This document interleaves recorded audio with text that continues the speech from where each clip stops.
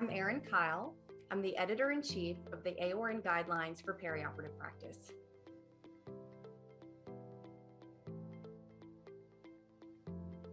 The updated AORN guideline for preoperative patient skin antisepsis provides guidance for preoperative patient skin antisepsis to promote patient safety and reduce the risk of surgical site infection.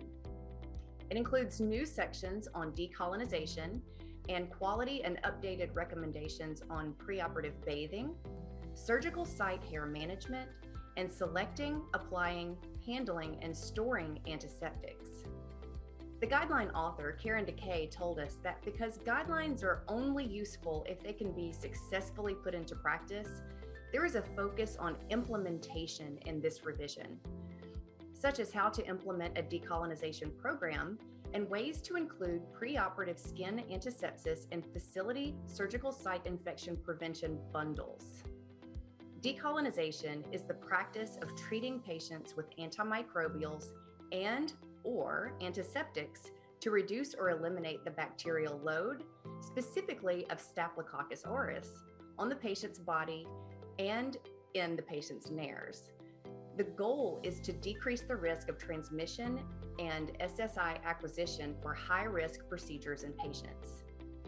The guideline recommends that an interdisciplinary team comprised of one or more infection preventionists, epidemiologists, pharmacists, perioperative nurses, surgeons, microbiology laboratory personnel, and other stakeholders, which are identified by the healthcare organization, to determine the need for a preoperative decolonization program at their facility and use a risk based approach to determine whether or not the decolonization strategies should be implemented.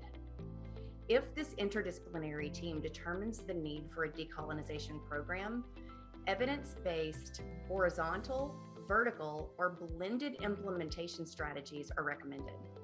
A horizontal approach focuses on reducing clinically relevant pathogens using universal interventions such as nasal decolonization, chlorhexidine gluconate bathing, bathing, hand hygiene, and personal protective equipment for every member of a general population.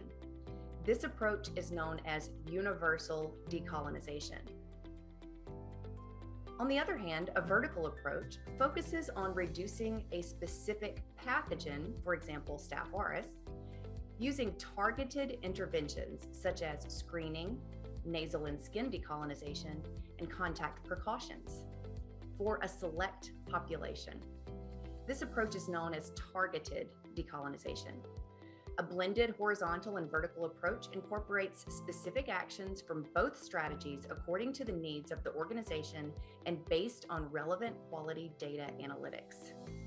This updated guideline also recommends that a standardized protocol be employed for preoperative patient bathing. Recommendations around surgical site hair management replace the older verbiage hair removal. This is because hair removal should be minimized and avoided unless necessary. When hair must be removed, hair removal should be performed as close to the surgical start time as possible in a location outside of the operating room. Finally, there is a new recommendation for including bundled interventions as part of a quality improvement program which is focused on surgical site infection reduction.